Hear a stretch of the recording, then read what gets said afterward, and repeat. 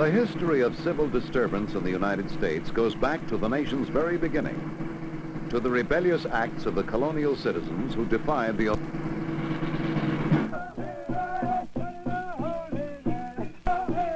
Indeed, the very existence of the United States resulted from one of the greatest civil disturbances in history, the Revolutionary War, as we call it, and the War of the Rebellion, as the British call it.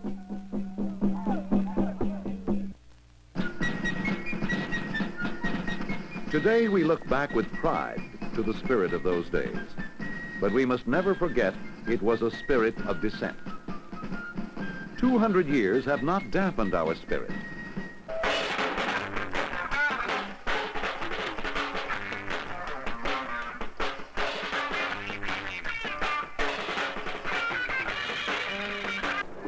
Indeed, the spirit of dissent, as expressed by the freedoms of speech and peaceable assembly, is a constitutional right of the American people.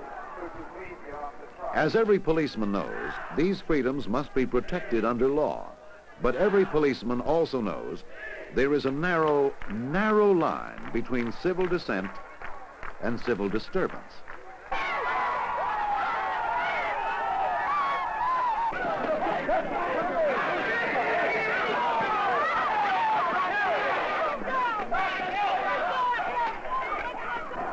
Whatever the underlying cause for dissent, and there are many in today's troubled world, the transition from a peaceable assembly into a disorderly mob is a step into lawlessness.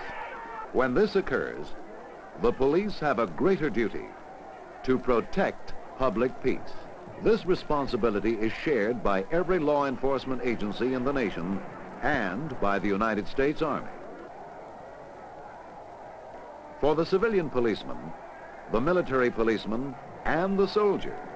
No assignment is more difficult than to be called out for duty at the scene of a civil disturbance. The biggest problem in an operation like this is trying to dope out what the crowd will do next.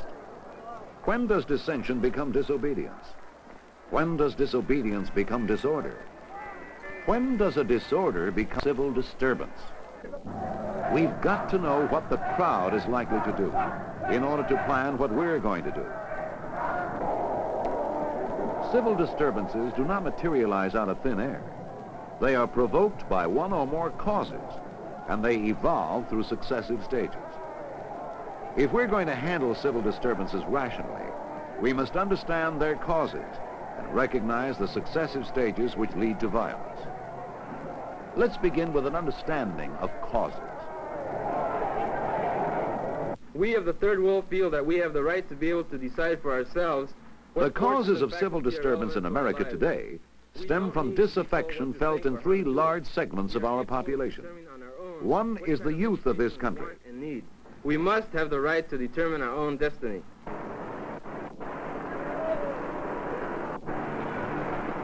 Yesterday, the Yippies sent a representative to the White House uh, telling the president that if he would appoint a Yippie commission uh, to uh, determine the direction of the war in Vietnam, uh, we would then immediately call off the Yippie Festival. Um, the president refused, um, so we're going.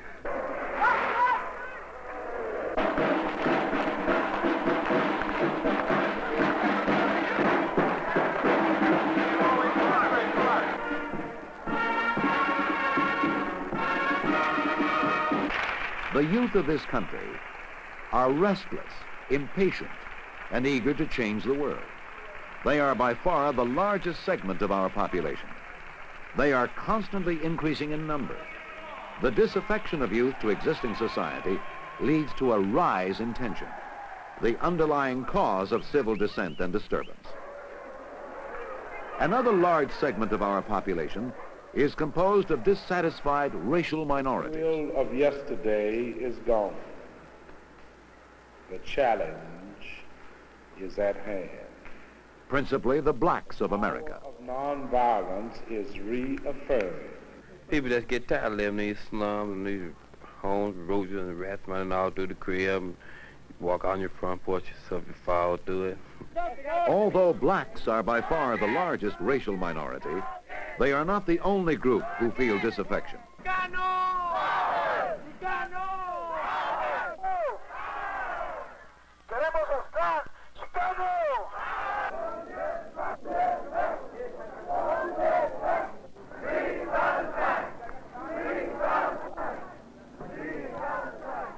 Disaffected racial minorities are not limited to the cities and suburbs. They are to be seen and heard throughout all of America.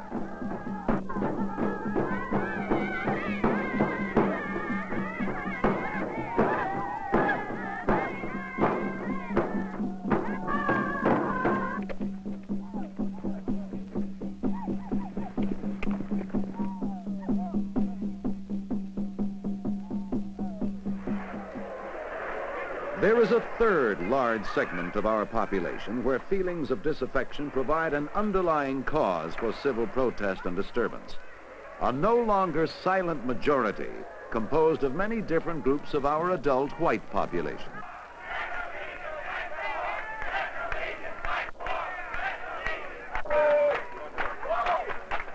You're a little hard and stew.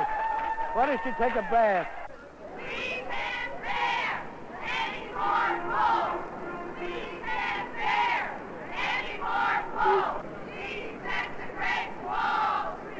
There are so many such groups with so many opposing viewpoints that conflicts occur even within the groups. And it is conflict between groups which initiates the third stage in the evolution of disorder, the development of a high-tension situation. When a crowd gathers to voice a protest for or against something, any form of opposition tends to provoke a high-tension situation. A high-tension situation is characterized by name-calling, pushing, and other aggressive acts which an individual could not commit under normal circumstances.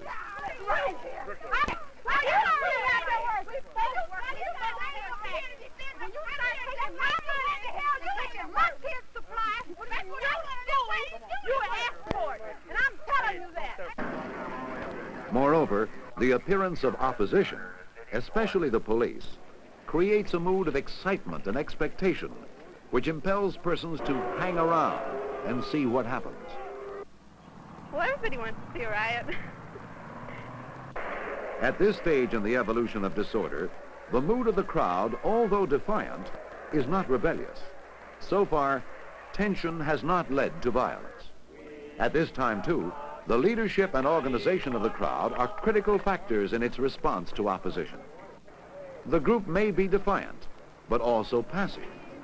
If the police do not initiate violence themselves, it is not apt to occur, and the development of further tension is avoided.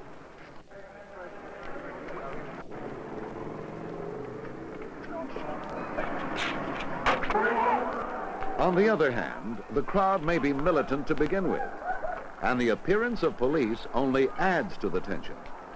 Protected by their anonymity, some individuals respond to their tension by striking out.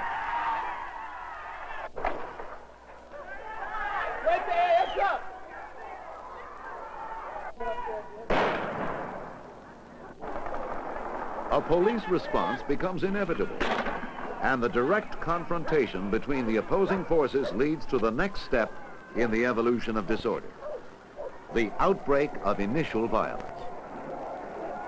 The initial occurrence of violence is a critical factor in the evolution of disorder because of its inflammatory effect on the demonstrators. At this point, demonstrators are restless, anxious, frustrated, perhaps fearful, and angry.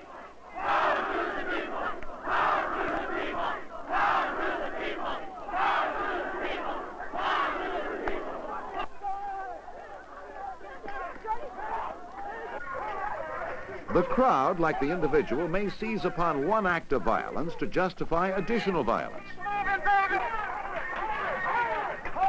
Perhaps we can better understand the psychological factors affecting the crowd at this time by relating crowd behavior, individual behavior, when an individual's emotions are stretched to the same breaking point.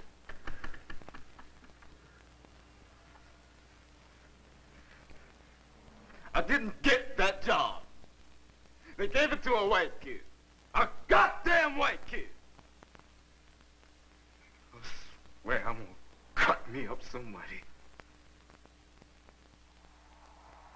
Hey, hey. Look at this, look at this. Would, would you would you believe this, sir? Another murder. Another old woman beaten and raped. How long are we gonna stand for this anyway?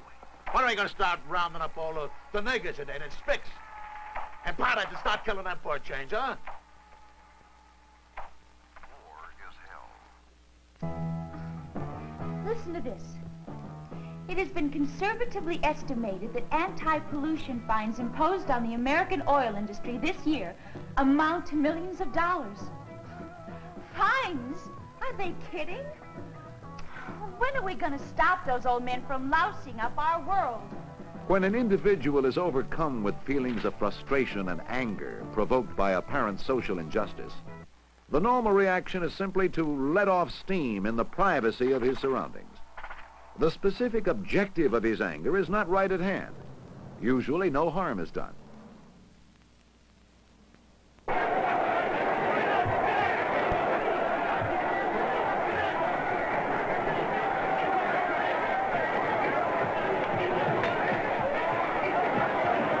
But when these individuals find themselves in a group of other individuals sharing their emotions, and when the objective of their anger is close at hand, such as any immediate opposition, the factors of individual psychology are compounded by factors of group psychology.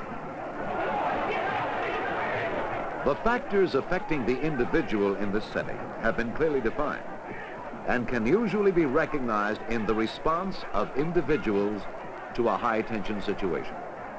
One is anonymity. When the individual feels himself lost in the crowd, he is apt to lose the constraints of shyness or responsibility. He is more likely to speak and act irresponsibly. Another important factor is suggestibility. The individual is responsive to inflammatory slogans and catchwords. He is turned on by the excitement of the occasion. Still another factor is imitative behavior. Having achieved a feeling of security and unity within the group, the individual becomes compelled to follow the group and do as others are doing. And perhaps the most significant factor of all is emotional contagion. Everyone likes to see a riot. Down the streets, dogs are chasing them. Cats are hitting everybody. The anger expressed by a few individuals quickly spreads to others, and they react as a group in order to satisfy the emotional needs they feel individually, but now without restraint. The outbreak of initial violence is a critical event, especially if it results in personal injury. The natural reaction of an individual, any individual, to being injured is to return the injury, to act with violence.